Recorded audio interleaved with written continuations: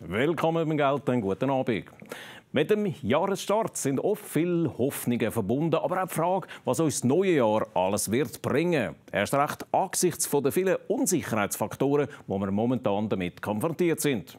Sorgen macht vielen die Inflation. Die Teuerung nagt an unserem Geld und ist dafür verantwortlich, dass unser Sparbatzen stetig ein bisschen an Wert verliert. Das wirkt sich auch stark auf die Altersvorsorge und das alte Sparen aus. Zwar steigen dank dem Teuerungsausgleich die AHV-Renten, in den meisten Fällen nicht aber die Renten aus der Pensionskasse. Angesichts der unsicheren wirtschaftlichen Rahmenbedingungen sind die Reformen in der Altersvorsorge noch dringlicher geworden.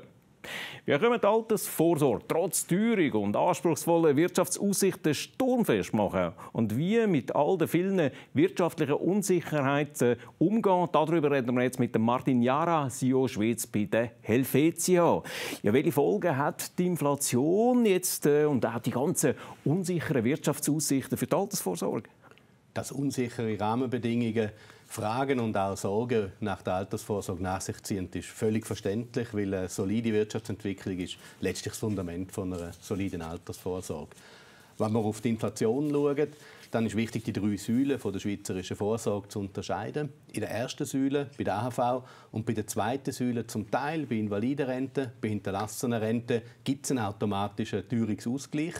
Aber bei laufenden Renten, also bei Altersrenten, wo Menschen aus dem BVG, aus der beruflichen Vorsorge beziehen, erfolgt kein automatischer Teuerungsausgleich. Das heißt, es bleibt weniger Renten übrig, äh, es sind weniger Waren für die Rente erhältlich für die Rentner. Die Berufstätigen können vorsorgen, die Berufstätigen können die Lücke durch die private Vorsorge schliessen. Sie können dort auch die Anlagemöglichkeiten nutzen, die einen guten Inflationsschutz bieten können. Und äh, diese Möglichkeiten gilt es wahrzunehmen. Warum werden denn die Renten jetzt gerade eben in der zweiten Säule, bei der Pensionskasse, nicht angepasst? Weil äh, gerade für viele äh, Rentnerinnen und Rentner steht die Inflation natürlich fatal. Ja, wichtig ist, dass man da die Funktionsweise von der zweiten Säule sich vor Augen führt. In der zweiten Säule sparen wir ein ganzes Leben lang einen Teil von unserem Lohn an und das Ersparte, das wir dann angespart haben, wird später als Rente bezogen. Wenn ich jetzt diese Renten erhöhen möchte, dann muss das letztlich finanziert werden durch die heutigen Berufstätigen. Das heißt, die heutigen Berufstätigen hätten weniger Geld oder selber weniger Renten am Schluss. Und ob man das will oder nicht, ist letztlich ein politischer Entscheid. Da geht es um die Frage, welche Generation soll welche Last aus der Altersvorsorge tragen. Es ist aber heute schon so, dass wir eine große Umverteilung haben. Heute wird jede neue Rente im Schnitt mit 40.000 Franken von den Berufstätigen zugunsten der Rentner quersubventioniert. Und ich persönlich bin klar der Ansicht, diesen Betrag noch, noch anzuheben, das strapaziert Generationen äh, Solidarität zu stark. Wir sollten die dritte Säule stärken, wir sollten die Möglichkeit in der dritten Säule nutzen, uns frühzeitig mit der Vorsorge auseinandersetzen, eigene Lösungen kreieren, die passen auf die eigene Situation. Und wir haben dort Angebote, die attraktiv sind, die flexibel sind und die müssen wir nutzen, um unsere Altersvorsorge sicherzustellen. Direkte Folgen haben die steigenden Zinsen und Teuerung auch bei den Immobilien und für die Hausbesitzer und Mieter. Sie sind gerade in mehrfacher Hinsicht betroffen. Wegen der Gas- und Stromengpässe sind die Energiepreise und damit die Nebenkosten bei den Immobilien stark gestiegen.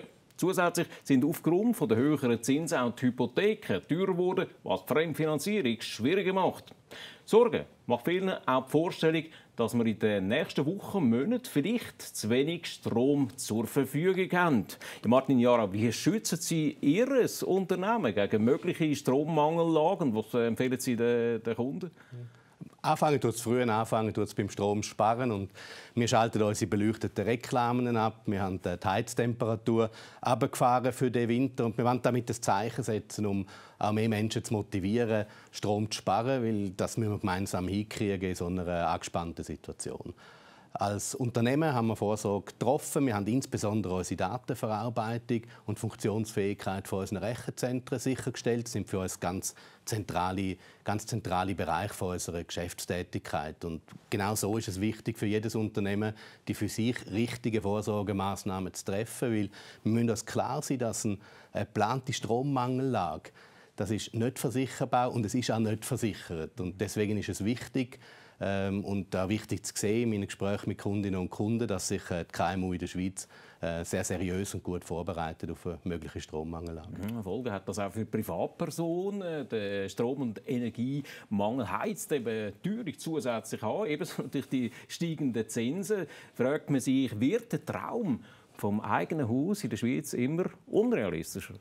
Ja, grundsätzlich hat sich an den Realisierbarkeitskriterien nichts geändert. Das ist vorne wichtig und es ist auch jetzt wichtig, dass man ein Eigenheim äh, nur macht, wenn man eine Tragbarkeit wirklich abbilden kann. Und da haben wir auch vorne immer schon mit 5% gerechnet und davon sind wir immer noch ein Stückchen entfernt. Aber Unabhängig davon ist es natürlich schon so, dass steigende Zinsen ein Eigenheim heute verteuern und es sich lohnt zu vergleichen. Vergleichen können Sie gut auf, auf Plattformen oder auch in einer persönlichen Beratung. Wenn ich bei uns auf äh, unsere Immobilienplattform Immoworld schaue, dann sehe ich nach wie vor einen sehr dynamischen Immobilienmarkt und auch einen Markt, wo insbesondere in der Ostschweiz finanzierbare und attraktive Wohnimmobilien weiterhin hergibt und zur Verfügung stellt. Jetzt haben wir ganz viele Unsicherheitsfaktoren. Wir haben äh, höhere Zinsen, wir haben die Inflation, haben eben allenfalls noch äh, Strommangellage. Sie beschäftigen sich täglich mit Risiken. Wie kann man äh, auch als Privatperson mit Risiken oder auch als KMU mit Risiken umgehen, ohne dass einem am Schluss blockieren, weil man vielleicht äh, eben Angst hat?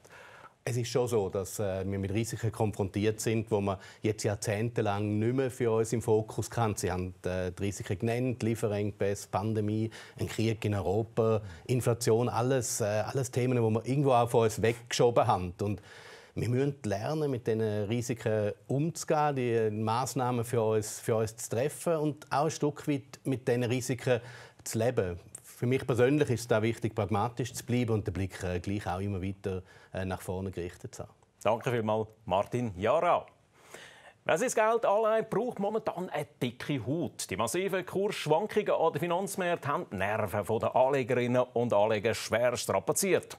Nach dem miserablen Anlagejahr 2022 fragen sich viele, wie sie sich jetzt im neuen Jahr positionieren sollen. Gar nicht investieren ist angesichts der Teuerung auch keine überzeugende Alternative.